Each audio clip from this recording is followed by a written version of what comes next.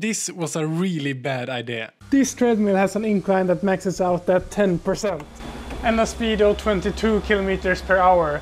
So I just have to figure out for how long I can stay on this treadmill on the maximum settings before it breaks me. But what I first realized afterwards is that this was really dangerous because of the treadmill being so close to the wall. If I fall here, the treadmill would hurt me pretty bad.